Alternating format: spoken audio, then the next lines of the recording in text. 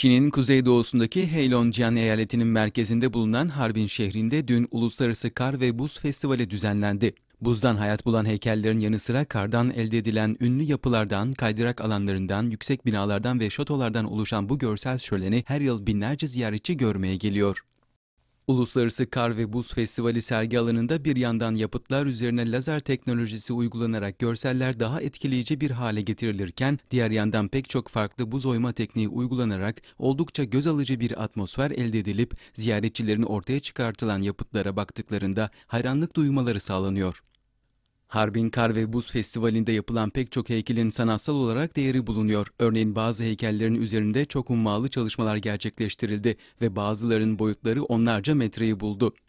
Öte yandan hem ince işçiliğin hem de muhteşem emeklerin verildiği bu alana hazırlık aşamasında dünyadaki en başarılı heykeltıraşlar davet edildi. Günlerce devam eden heykellerin yapımında yaklaşık 30 bin metreküp buz harcandı.